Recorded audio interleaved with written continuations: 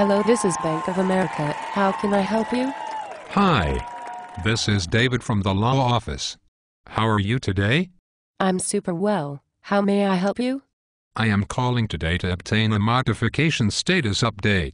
You are now in our automated answering service menu. This menu is meant to help you. Please listen closely to the following options as our options have changed. Actually, our options have not changed.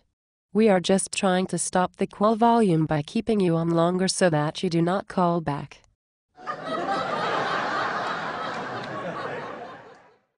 Press 1 to access the information using your account number. Press 2 to access the account using your social security number. Press 3 if you are an illegal immigrant, was never employed, and we gave you a loan despite you not having a work history. Press 4 to make a payment using our automated payment processing center, for your convenience and for an added charge of $15. Press 5 to access your account information and hear information about how to send in payments. Press 6 if you want to hear all about your hidden fees, teaser rates that explode on you, and why the principal of your loan keeps going up even though you pay your loan on time every month. Press 7 if your loan was under Countrywide Home Loans. In that case, it is most definitely a predatory loan and you should not seek counsel to find out your rights because you may actually force us to modify. Finally, press 8 if you are not a Bank of America customer but would like to find out about the many benefits of becoming one. Oh my! Option 1. I did not understand your choice. Option 1.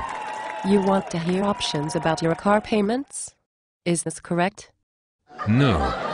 This is not correct. I want option 1. You want to know how you can save money on your car insurance by switching to Geico. No. I want option 1. You have chosen option 1. Is this correct? Yes. I did not get that. Is this correct? Yes. Just confirming, you want option 1? Yes. Okay. Let's get started.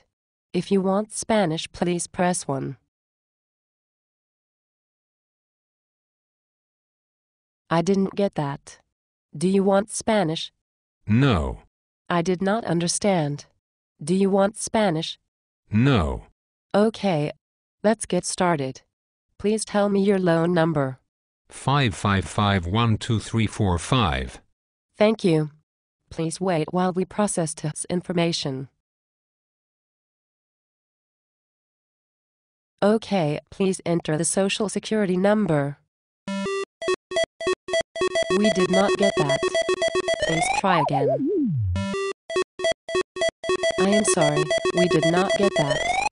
Please hold on for a representative. Your call is very important to us.